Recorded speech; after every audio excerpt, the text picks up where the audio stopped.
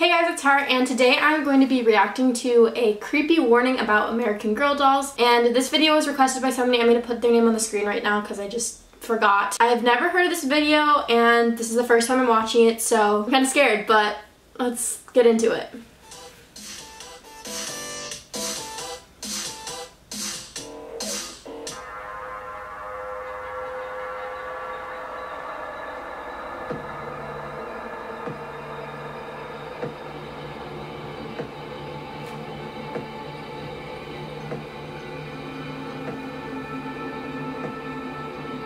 Okay, this is a really creepy intro and I feel like it's not very fitting because none of the dolls she's shown so far are American Girl dolls and I feel like AG dolls aren't are like on the less creepy side of like toys. I know some people are like scared of dolls and stuff, but I don't know. Hey guys, it's Wait, hold on. Everything said in this video are facts I found online and have not yet been confirmed by American Girl brand. Okay, good to know. So, taking it with a grain of Hey salt. guys, you really wanted me to do a video about American Girl dolls. Now, I'll admit, I have never owned one of these, but I have had friends who have had them, and I've seen them for the last while of my life. I have no idea if they are still as popular as they once were. Now, we're gonna start with the history, just in case you aren't familiar about them. American Girl is an American line of 18-inch dolls released in 1986. The dolls portray 8 to 12-year-old girls of a variety of It looks like she took some pictures maybe from Instagram that kind of looks like a five pens and a cockatiel photo. I'm not 100% sure if that's who took the picture, but I hope she gave credit. So the original dolls, when they first came out, were targeted towards nine-year-old girls. That's who they wanted their audience to be. But when they came out, so many people of different age groups loved them so much that now they kind of cater to really anybody. They don't really cater to anybody though. I feel like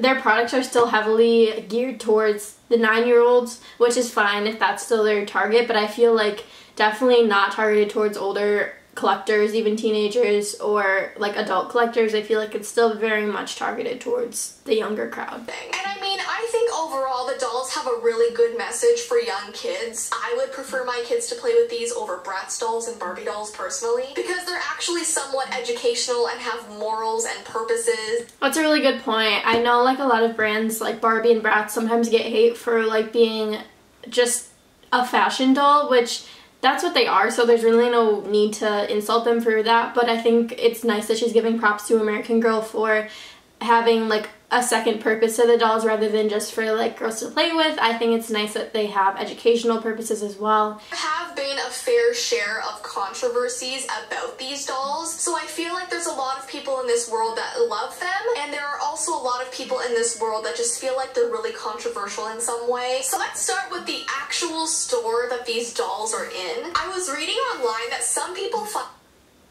For bathroom Ad. items that find these store layouts to be a little bit unsettling, and it's mostly because they have these groups of dolls that are standing up in display cases with their names written over top. So it's almost like they're just glaring at you as you shop, hoping that you'll choose them.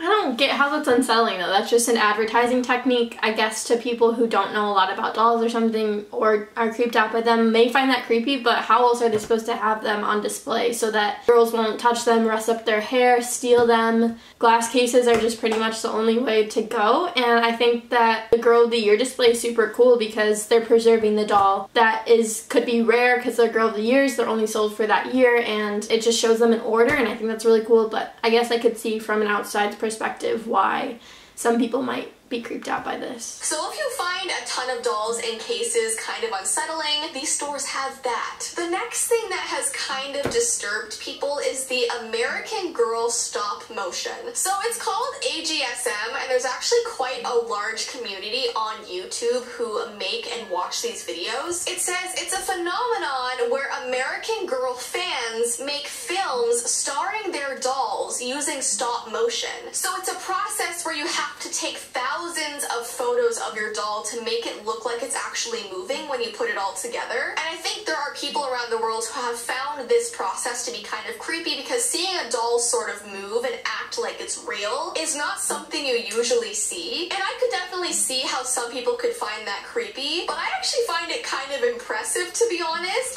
I, really like that because yes, I know a lot of people find it creepy because they just have an underlying phobia of dolls. So it's not really the, the act of an AGSM itself, it's just their fear of dolls. It's it, it, A doll could be just sitting there and they'd get scared by it. So I think that what she's saying is right. It's way more on the impressive side that they're able to do this. I, I don't personally make a lot of AGSMs, but there's a lot of people that do and are super successful at it. So I think it's overall an impressive community rather than it being creepy. But again, there's just those people that are scared of dolls that are going to be creeped out no matter what. So and it's a long process. Like you need some skill, you need some patience, and the fact that these people are posting videos all the time with their American Girl dolls is really impressive. So good on you guys. There was actually a particular stop motion episode that came out on YouTube that really scared people. The specific episode was called The Spirits Haunting. It scared a lot of kids who watched it because most people who watch these stop motion films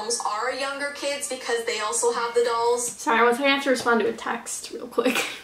So this was a horror episode that came out and no one was really expecting it. Here's the plot. A doll named Essence moves into an abandoned home where an evil spirit tries to kill her as she sleeps. That's literally the plot. So not everything is happy faces comes to American Girl dolls. Okay, yeah, so they're obviously the AGSM community is super creative and they like to do specials for like holidays. So in this case, it was a Halloween special, and that's just something you find in this community. It doesn't really have anything to do with like scaring people, really. It's just art, like I don't want to say are because I'm not really in the AGSM community, but it's their form of creativity, and I see why people would think it's even scarier than a horror movie because it's dolls, and if they're already scared of dolls, they're gonna be scared of this. But the next thing I find really creepy is that there was a case where a girl bought an American Girl doll, and the eyes of the doll turned black. It says this customer bought a doll and had years. She eventually put the doll away in storage when she got a bit older, and one day when she went to take her doll out of storage, all the color had disappeared from the doll's eyes and all that was left were these grayish black circles. It said she was terrified of it. She called the store and asked them. Apparently that doesn't really happen too often, so I have... Sorry, FaceTime call. Okay, so for the black eye thing, I think that that may have been a case of silver eye, which just means maybe there was like some kind of water damage to the doll or something else, obviously, or mold even. Mold could have, yeah.